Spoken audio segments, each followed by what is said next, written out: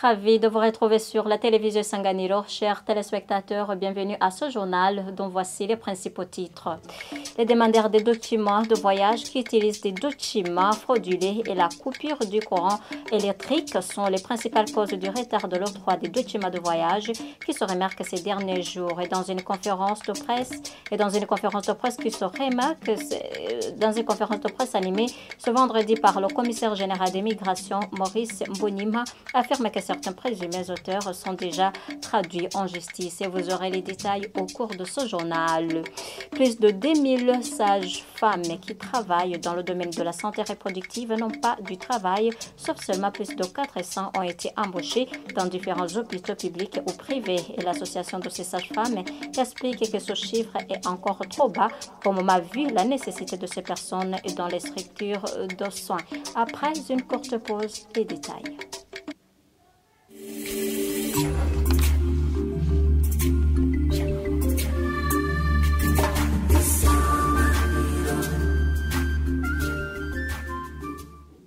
Encore une fois, bienvenue à ce journal. Deux projets de loi, dont celui portant modification du cadre organique des établissements, ont été adoptés par l'Assemblée nationale ce vendredi. L'une des innovations apportées par le nouveau projet était les missions qui étaient dédiées au conseil d'administration pour les établissements qui ne génèrent pas de revenus et seront confiées au comité de direction Ornella-Mucho. Harashyizweho ikiringo mfatakibanza cy'umwaka cyahawe ibisata bya leta bihari.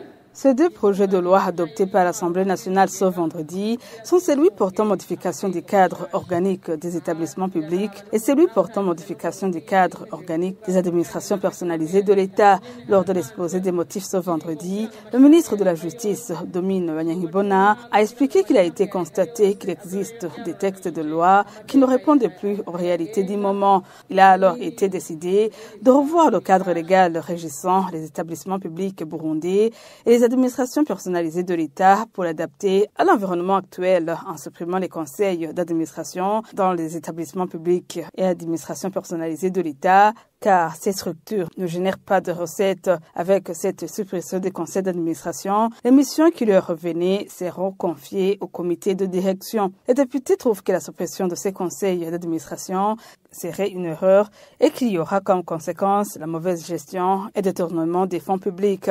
Ils ont proposé alors l'intégration des représentants du personnel dans ces comités de direction et la ministre Domine Bona a répondu que ces suggestions vont être tenues en considération. Après échange et débat, ces deux projets de loi ont été adoptés par l'Assemblée nationale.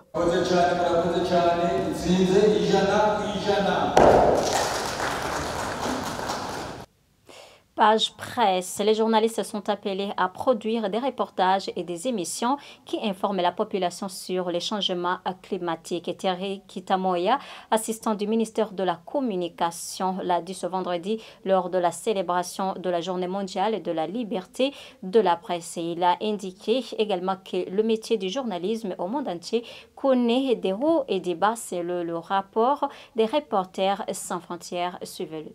Dans le monde entier, la liberté de la presse a connu certes des bas. ku isi yose ubwigenge bw'umwuga w'abamenyeshamakuru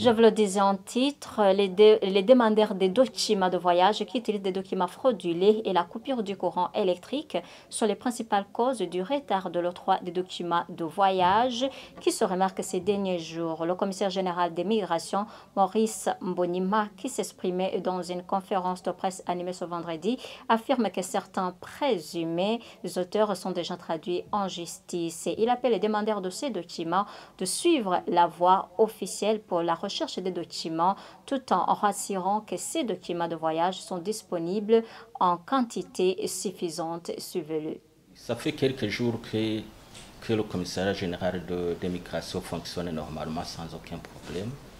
Mais ces derniers jours, nous avons eu euh, un défi, un défi euh, lié à deux situations. La première situation, c'est que, comme vous le savez, ces derniers jours, il y a des coupures d'électricité. Coupures d'électricité où, si par exemple, il y a deux ou trois coupures par jour, cela occasionne des, des, retards dans la, dans la production des, documents de voyage. Autre chose, la plus importante, c'est que nous avons remarqué ces derniers jours que les demandeurs des documents de voyage amènent des, faux documents. Des faux documents, c'est-à-dire euh, les attestations de résidence les attestations d'identité complète, voire même la carte nationale d'identité. Et nous avons vu que cette situation actuellement est très inquiétante où, oh, si on fait la moyenne, on remarque que 50% des documents qu'on amène aujourd'hui sont des faux documents. C'est-à-dire des documents qui ne sont pas délivrés par l'administration. Je dirais que à un certain moment, les, faussaires ont érigé une administration parallèle.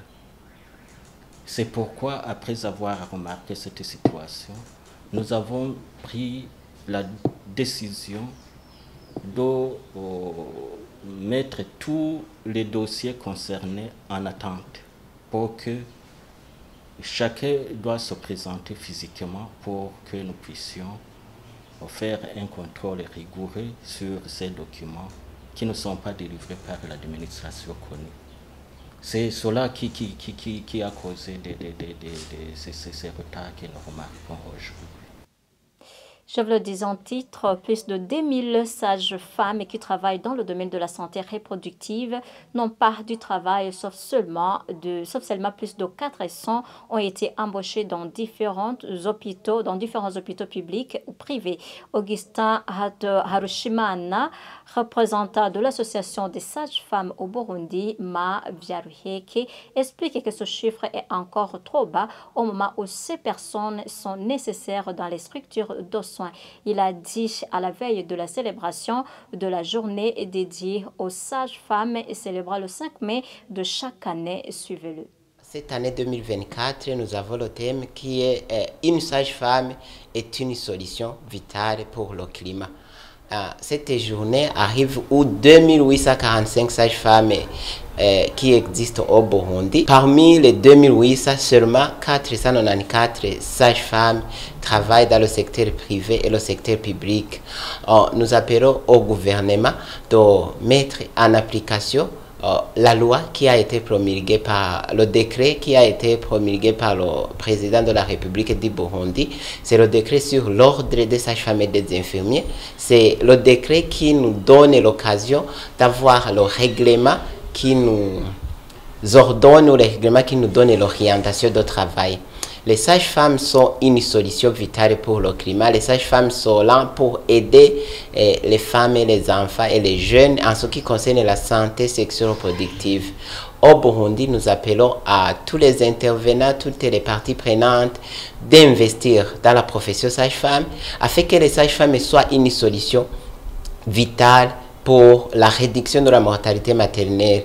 Ah, comme information, là où est la sage-femme, il y a la réduction à plus de 65% de la mortalité maternelle. Donc j'appelle à tous d'intervenir, à tous d'investir dans la profession sage-femme afin que les sages-femmes euh, soient une solution où les sages-femmes euh, participent au développement durable de la santé mère-enfant au Burundi. Le représentant de cette association interpelle le gouvernement à soutenir le travail des sages-femmes en mettant en place une loi qui les régit et souhaite que les hôpitaux ou d'autres structures de soins soient bien équipés pour le bon fonctionnement des activités. Encore une fois, Augustin Harushiman. L'ordre des sages-femmes est déjà promulgué, il faut que ça soit appliqué. Et dans l'ordre ou dans le décret qui a été promulgué, euh, on dit que c'est le ministère de la Santé qui est en charge de mettre en application de cette loi. Donc il faut euh, qu'il soit appliqué afin que la santé publique soit protégée. J'appelle aussi le secteur privé. Ils ont droit d'engager les sages-femmes pour que ces 2300 sages-femmes soient engagées afin que euh, les maternités du Burundi et les sages-femmes comme solution sur la réduction de la mortalité materno-fétale. Aussi, il faut équiper les maternités. Les maternités du Burundi doivent être équipées. Il faut la, le renforcement des capacités pour les sages-femmes afin d'utiliser cet équipement qui, a, qui que je dirais, quand on équipera les maternités, il faut que les sages-femmes soient aussi renforcées en capacité afin d'aider les femmes et les enfants pour la réduction de la mortalité materno-fétale au Burundi. Et voilà, chers téléspectateurs, c'est la fin de ce journal. Merci de l'avoir suivi et bonne suite des programmes de la télévision Sanganiro.